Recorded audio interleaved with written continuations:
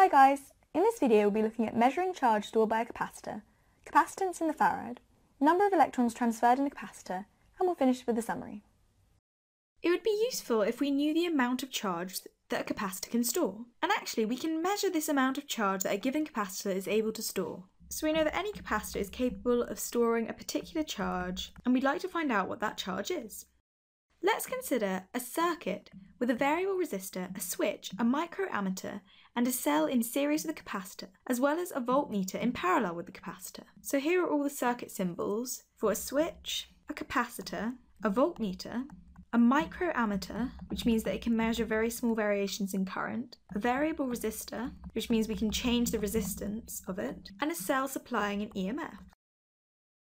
This circuit can be used to investigate the relationship between the charge stored on each capacitor plate and the potential difference across the capacitor plates. So we can measure the potential difference by using the voltmeter, and we can also measure the magnitude of the charge stored on each plate.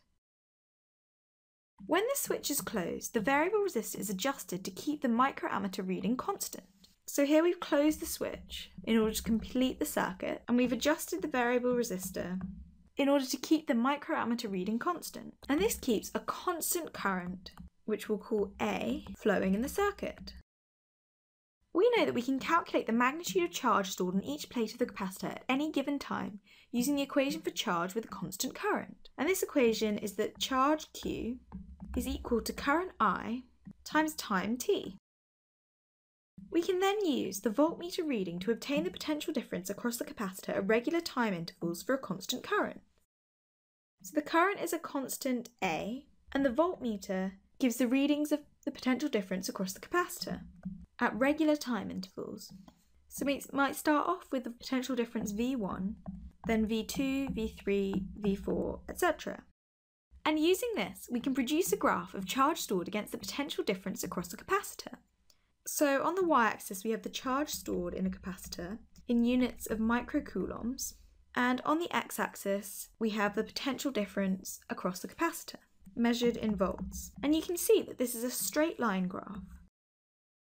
And this shows that the charge stored is proportional to the potential difference across the capacitor. So the charge stored Q is proportional to the potential difference across the capacitor. This means that the charge stored on a capacitor per volt of potential difference across the capacitor plate is constant. So if we take delta Q and divide it by the change in volts, delta V, of the potential difference, we find that the charge stored per volt is constant because the gradient of the graph is constant. We're now going to define a quantity called capacitance and its unit, the farad. We already know that capacitors are electrical components that can store charge. So here's our image of a capacitor with two metal plates separated by an insulator and that charge can be stored across these two plates.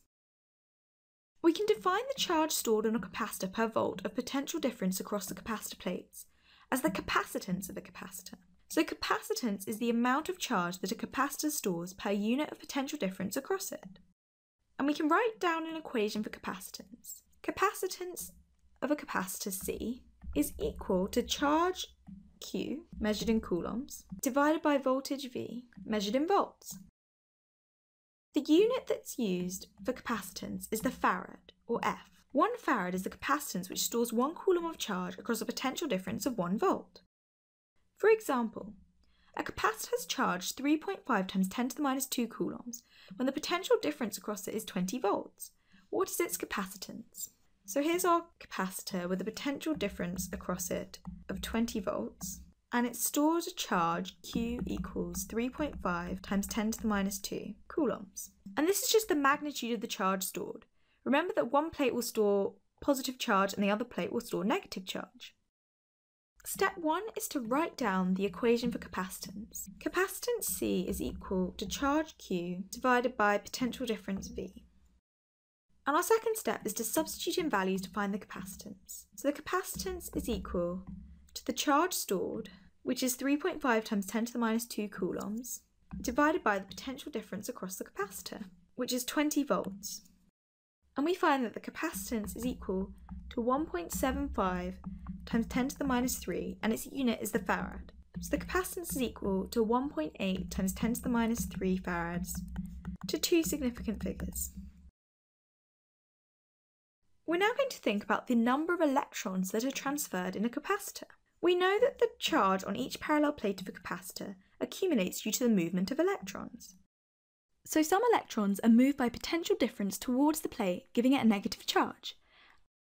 And some electrons are moved away from the plate, giving that plate a positive charge.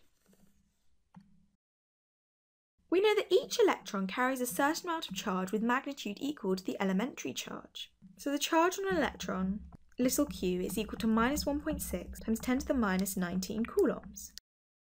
So therefore, if we know the total charge on each plate of capacitor, we can find the total number of electrons transferred to or from a plate.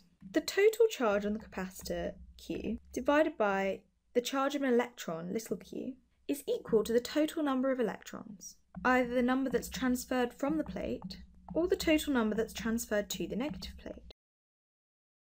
For example, a capacitor has capacitance 200 microfarads and is connected to a 15 volt supply. How many electrons, N, have been transferred to the negative plate of the capacitor once the capacitor is fully charged?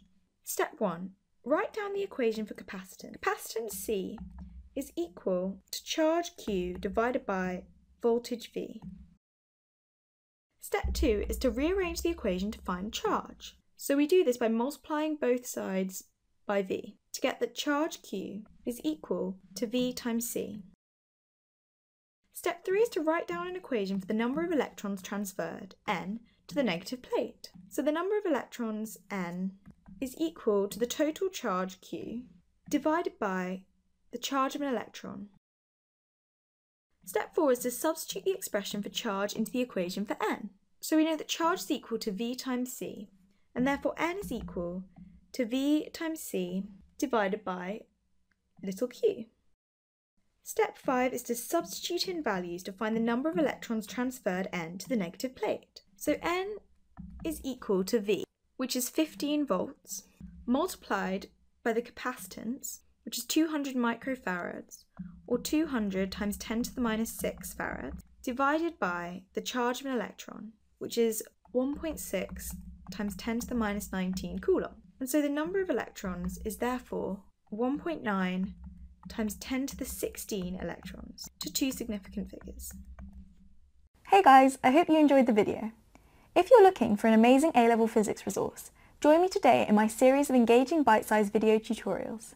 Just click the Snap Revise smiley face and together let's make A-level physics a walk in the park.